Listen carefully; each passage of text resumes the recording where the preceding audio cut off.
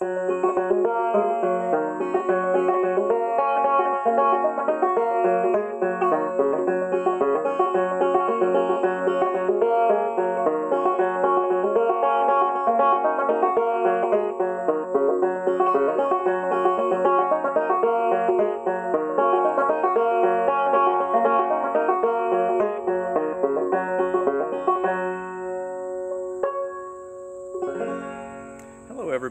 have just a short reading list that I'd like to briefly go through with y'all.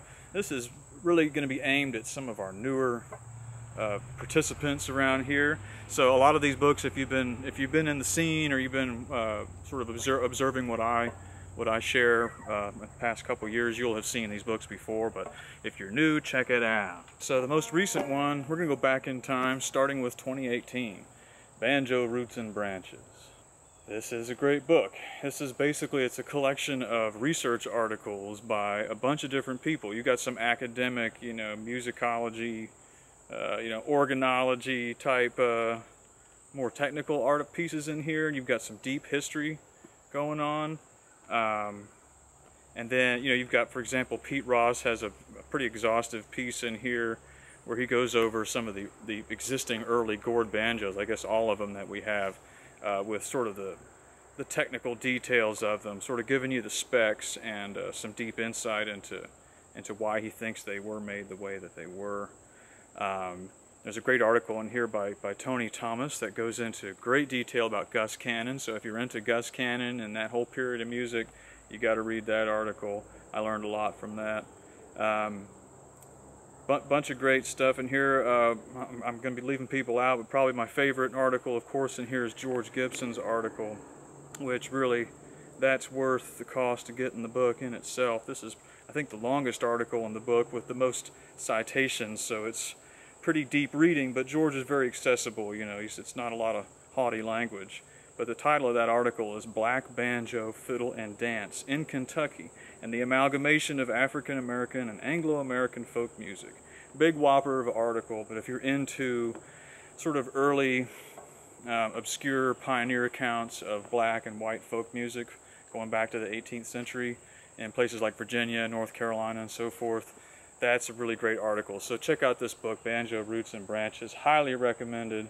Kind of need to read this if you want to you know, consider yourself a banjo aficionado, right?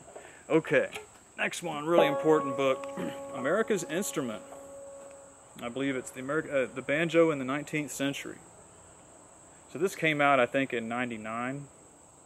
This is a great book. I mean, this is it's full of color photos of early banjos. Um, really nice stuff. I was, uh, you know, the, the authors. Uh, Philip Gura and Jim Bollman were actually kind enough to, to sign this copy for me, which is great. Also got I got George Gibson to sign it for me too, since they they were uh, generous enough to mention George in the foreword to this book. But it's just it's just a great book. You got lots of color photos. I won't show you too much. You got to buy the damn book, right? But this is a great book. America's Instrument. The banjo in the 19th century. This basically will cover you all the way from you know, in, in the 90s when they wrote this, it was about as good as you could get on the research angle, I'd say. Um, I have to be pretty conservative, you know, with, with a book like this.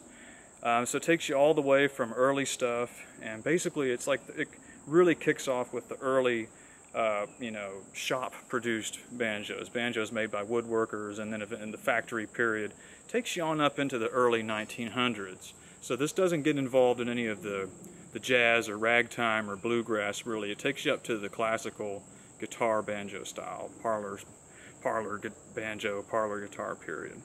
Really great book, lots of great visuals in here and great great information about about a lot of those turn of the century makers. This is kind of my, my encyclopedia if I need a quick reference for uh, you know turn, turn of the century makers like uh, you know Bacon and um, uh, Stewart and all those people. Uh, I'll, I'll turn to this book it's quicker than going to the internet. Another one that everybody needs to check out is African Banjo Echoes in Appalachia. This is by C.C. Conway. Great book. Um, she basically sort of goes. It's it's it's sort of like almost like a it's it's ethnomusicology, I guess, because she kind of approached it like an ethnographer. She went into this community of of uh, black and mixed race banjo players in North Carolina and Virginia, and just documented and documented their music and some of their stories and their background and took photographs and made a lot of recordings and, and made uh, made tablature and notations and stuff. So this is a great book. Um, it's just it's a ton of information and it's kind of scattered all over the place. It's kind of a hectic read. Um, I think any, anybody might agree, but it's it's a great book. It should be on your shelf and you should read it. It's got a lot of fascinating information on it. Uh, this came out in 95, I believe. So again, in, in, in the early 90s, when this was coming out, there wasn't really any, this was really exhaustive, probably the most exhaustive approach to, to what we're interested in. Great book. Probably the best, you know, the big, the big towering uh, megalith in, in this scene is Sinful Tunes and Spirituals, Black Folk Music to the Civil War. This was written by Dena Epstein. Epstein, I don't know how she pronounced it. But this is a great book, and this doesn't really, it has ton, lots of banjo information in it. She was one of the first people to really, back in the 70s when this came out, she was the first person to really loudly proclaim and have proof and evidence that, hey, there's this major African uh, connection with the banjo. You know, she knew there was there was a West African, Afro-Caribbean connection going on, and back in the 70s, that was not that was not so. People were still saying crazy, outrageous stuff like uh, like Joe Sweeney invented the banjo, or that the banjo came from Ireland, or some nonsense like this. So it, this is probably this may be the the most important one. This also for me this is a page turner. I read this whole book, no problem, in like a week or something. So lots of fun to read, lots of great information. If, if you're in, not even, if you're interested in just history in general, if you want to know about black history or the history of slavery in this country, this has to be on your shelf. You've got to you've got to read this book. Okay. This is a book that goes that was compiled in in the 20s. It was put together by a guy named Dr. Josiah Combs. It's called Folk Songs of the Southern United States. I think it came out in the 20s, maybe the 30s. But what it was, this is kind of, it's a rare book um, because Combs originally wrote the book um, for some kind of research project or dissertation when he was a, student or teaching over in France.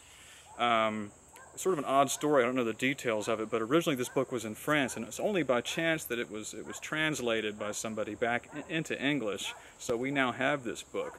So Combs is basically writing about this this culture that he grew up in, this Eastern Kentucky music culture.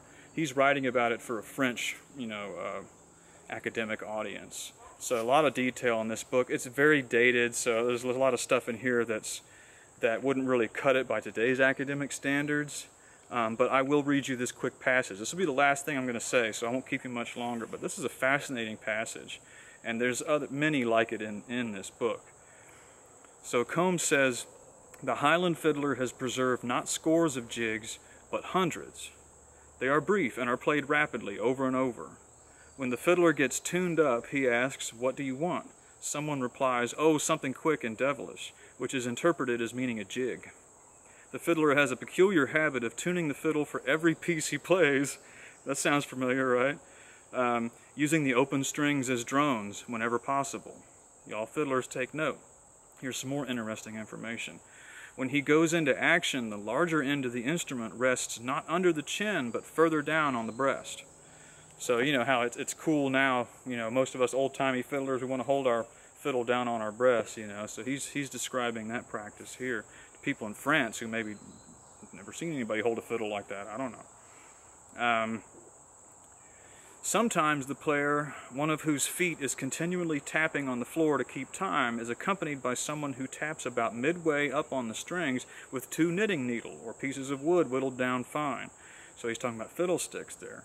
The fiddler is much in demand at dances, weddings, Christmas parties, etc.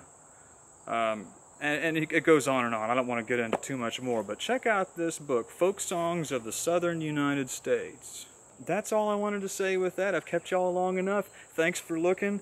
Uh, check out those books and let me know what you're reading, you know, what you guys have that I, that I missed out, or I'd love to hear of maybe something I haven't read yet. Um, okay, thanks for looking.